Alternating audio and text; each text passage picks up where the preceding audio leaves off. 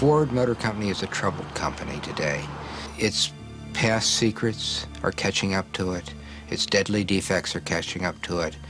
The public is beginning to question, are Ford vehicles safe? What else is Ford Motor Company hiding? I would reject that totally. Our, our number one priority is the safety of our customers. And that dictates everything that we do. We investigate thoroughly, we design our cars with safety in mind, we design them with both active and passive safety, and we focus on ensuring that our cars are safe and offering value to customers. Last June, on the M6 near Birmingham, a businessman was driving home to his wife and two daughters. Suddenly, his car veered out of control, crossed the central reservation and hit a lorry. He was killed. So far, the police have found no cause for the crash. He was driving a Ford Explorer.